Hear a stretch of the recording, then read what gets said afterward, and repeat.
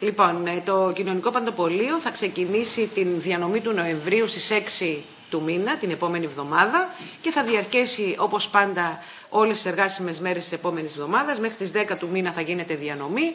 Θα σταλούν και στα αντίστοιχα νησιά οι ποσότητες που στέλνονται κάθε μήνα από την ε, επαρχία της ε, Ρόδου, δηλαδή στα νησιά που υπάγονται στη Ρόδο, γίνεται τακτικά και με συνέπεια πλέον η διανομή προς τους δικαιούχους. Οι δικαιούχοι, όπως σας έχω πει και άλλες φορές, έχουν ε, ευτυχώς μειωθεί. Είναι μια πάρα πολύ ευχάριστη έτσι, ε, εξέλιξη, γιατί όσο, το, όσο αυξάνεται το εισόδημα των ανθρώπων, τόσο ελαττώνονται και οι ανάγκες τους να προστρέχουν σε τέτοιες ε, δομές.